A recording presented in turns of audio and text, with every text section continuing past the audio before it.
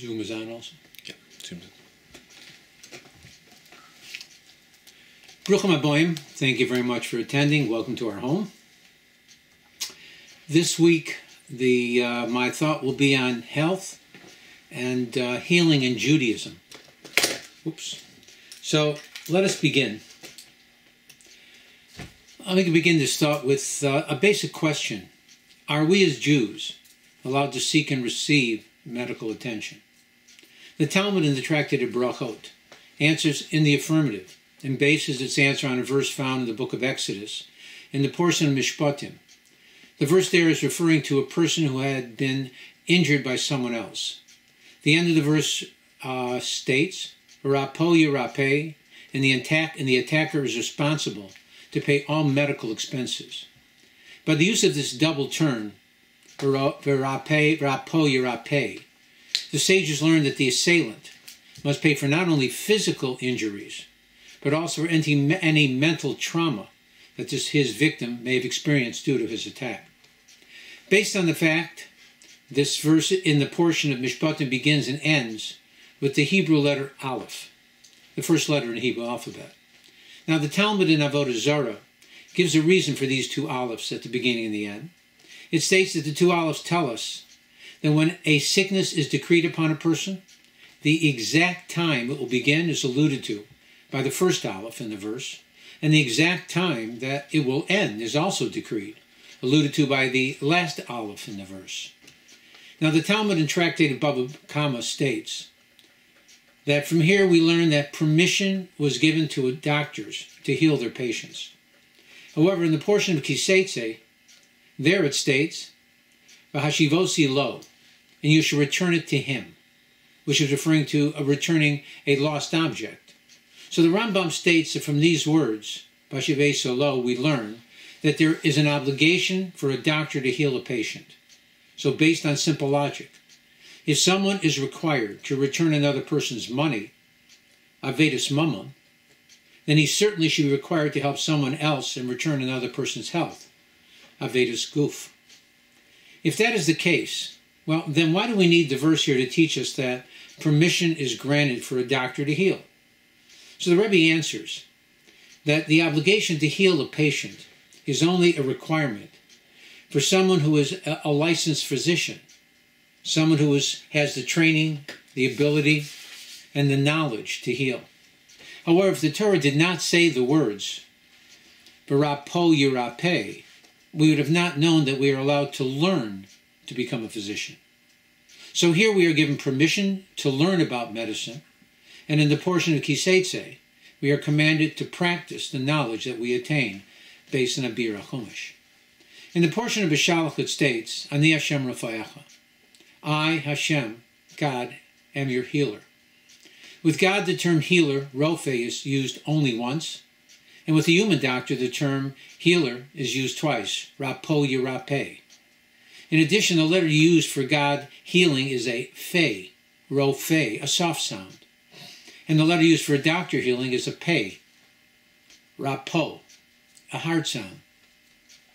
This alludes to the fact that when a doctor heals a patient many times, it can be uncomfortable, erroneous, and even painful. However, when God is when it is God who is your physician, then the healing is done gently and correctly the first time, without the pain and discomfort of needles and intrusive examinations.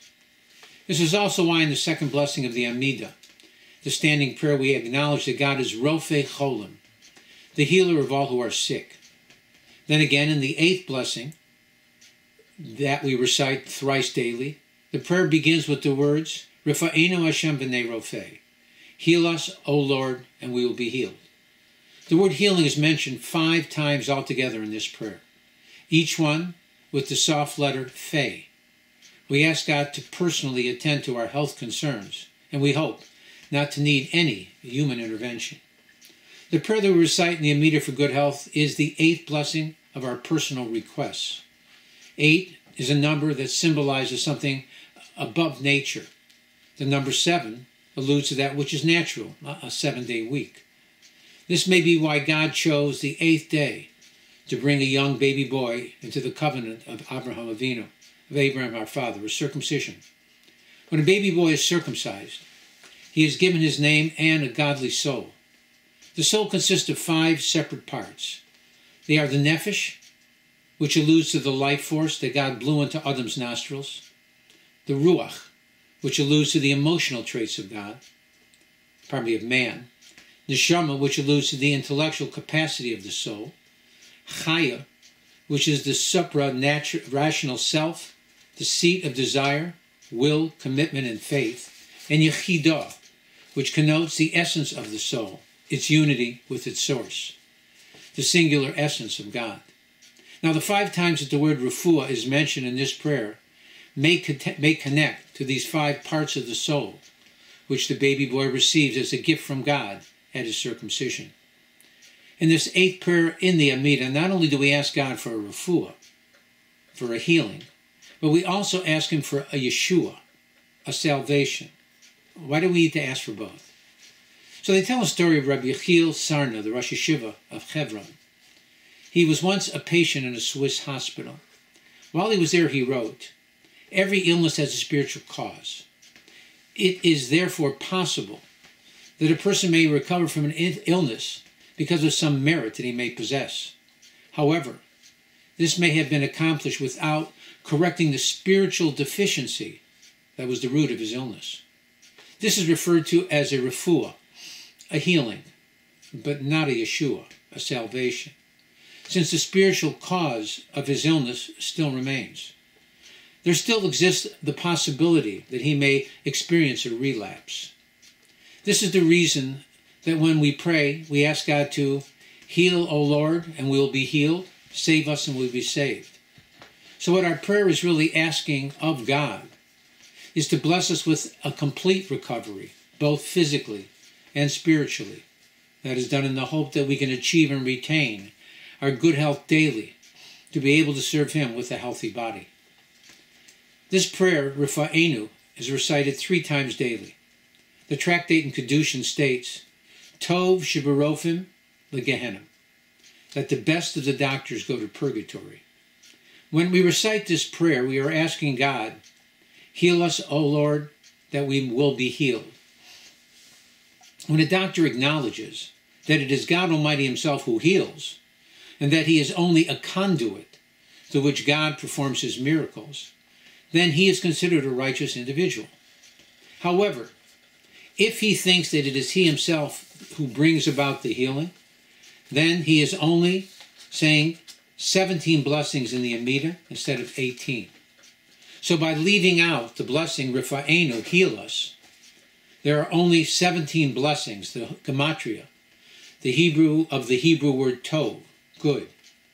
Then the words of the sages are apropos, since he leaves out the blessing that acknowledges God as a true healer he merits to buy himself a one way ticket to purgatory. Socrates said it very well.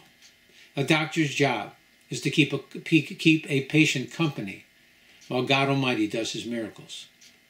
Anything that offers someone great rewards, more often than not, also offers great perils. There can be little doubt that being a doctor, helping others, giving solace to people who are suffering, comes with a very special reward in heaven. However, there are also dangers connected to the profession, most of which center around ego and greed. A doctor should always be aware that each patient that he treats is a prince, another child of God. Treat that person the same way that you would hope to be treated yourself if you were in that same condition.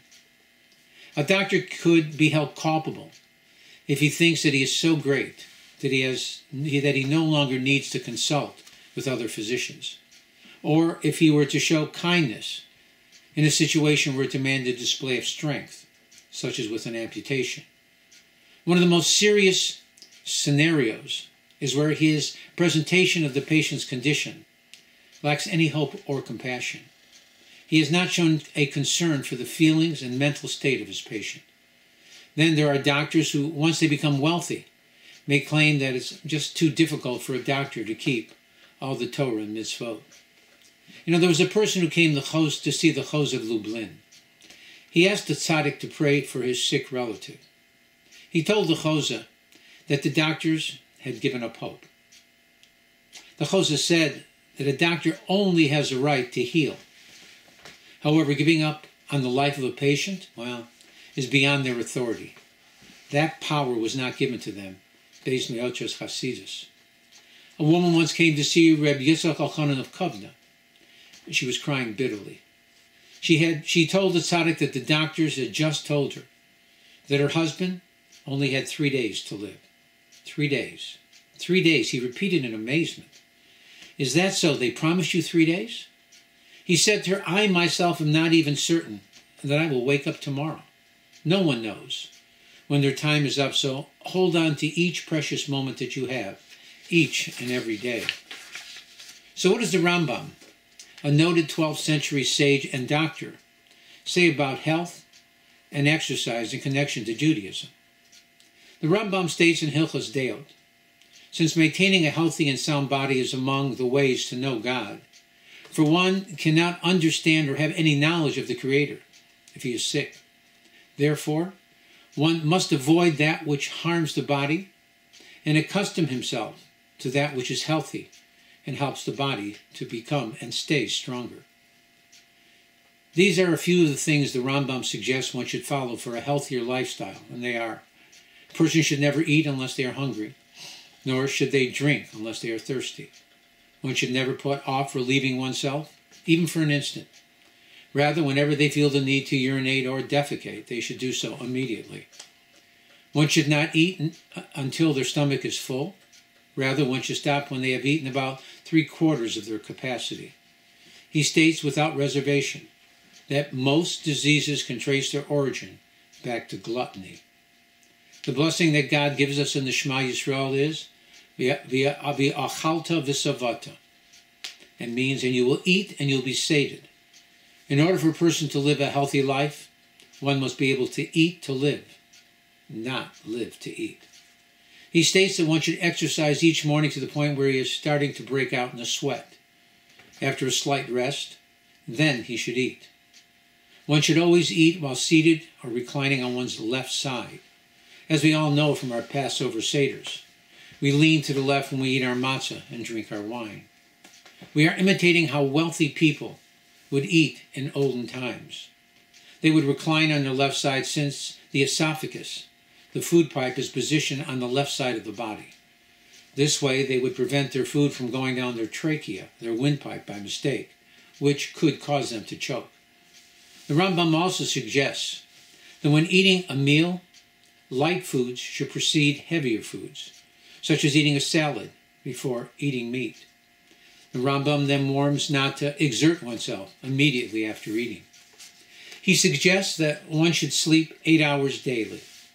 He says that one should not sleep face down nor on their back. They should begin sleeping on their left side, and sometime during that during the night, they should turn over so they should end the night on their right side.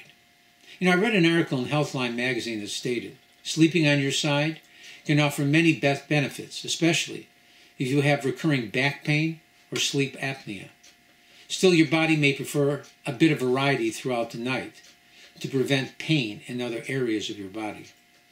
Now, physicians tell women who are pregnant that they should sleep on their left side during their pregnancy, since it may help preserve the blood flow to their growing fetus. Not all the suggestions that the Rambam makes are still applicable today. The main point being expressed is that he saw very clearly the connection between health and spirituality. He connects health to food, sleep, and exercise. Well, these three are still relevant today. There was a great rabbi who was crying on his deathbed. His students asked him why he was crying. He replied that in hindsight he wished that he had not abused his body as much as he had. He told them that if he had treated his body better, then he might have been able to put on his tefillin just one more time. Our bodies are a gift from God. We do not have permission to abuse them.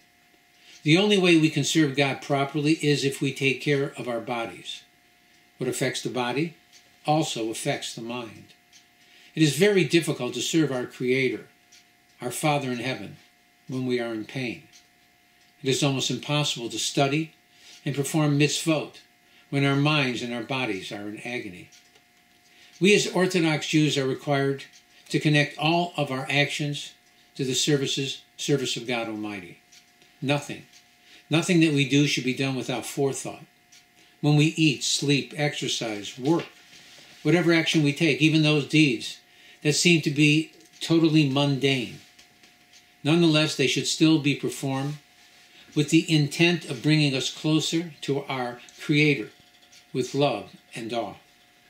The only reason we were given a body in this world was for us to have the strength and the ability to study Torah and do mitzvot. You know, over the last two years, I think that many of us have focused most of our attention on this pandemic, which to many of us represents sickness and even worse. I, I get it. it. It's pretty hard to ignore. But what if? What if we are looking in the wrong direction? Why not look at health and life rather than fear and depression that many of us are experiencing? What if we change our focus and try to follow the advice of the Rambam? Exercise, sleep, and food. What if we decide to do a moderate workout at least three times a week? What if we try to get at least seven hours of sleep daily? What if we eat with our stomach and not with our eyes? What if we commit our time and energies in making our lives richer and fuller? Yes, a person can be religious and still live a healthy lifestyle. Based on the words of the Rambam, it is mandatory. So let us take, let us, pardon me, not take for granted our good health. We need to be active participants in taking care of the body that God Almighty has loaned us to use while we journey, journey through this world. And with that, let us hope and pray for the coming of Mashiach Sekena, quickly and in our time. Again, let me thank you for attending. Uh, God should bless you with health, happiness, and success. Uh, again, Shabbat Shalom. Thank you so very much.